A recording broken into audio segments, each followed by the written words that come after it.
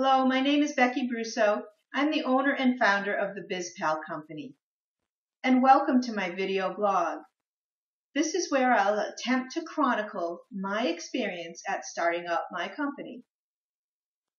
Last video blog, I talked to you about overtasking and how I had created such a really long to-do list that I would never get through it. But when I was going through this exercise, I had the opportunity to sit back and have what I call an aha moment. Aha moments are so important, and they can only happen when you take the time and space to reflect and connect the dots. For me, I found it was a case of inspiration gone wrong.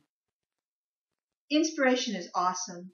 It's that secret sauce that keeps you up late at night when you have that extra task to do that is so urgent, when you don't have the energy, it kicks you through.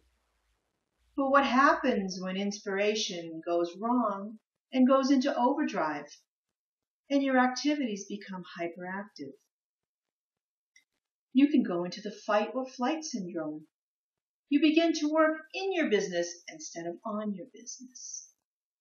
So when I sat back and I looked at all the tasks I was really doing, and I looked at all the strategy that I really wanted to put in place, I found there was a mismatch.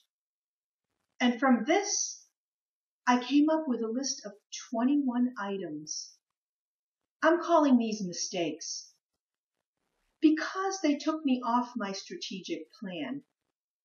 They may not really be a mistake in someone else's business, but for me they were because they took me off track. So in the next series of videos, I'm going to explore these 21. Not all at one time, but I will explore them one on one. And I'll look at what is the situation that caused this? What kind of things can I do in the future to prevent myself from getting derailed in this way? And how can I bring myself back on course? So we'll be looking at some mid-course corrections. I hope you'll join me again. Thank you for watching, and please leave a comment if you like. I'd love to hear from you. Whether it's on your experience or a comment related to this particular video, I would love to hear from you. Thanks.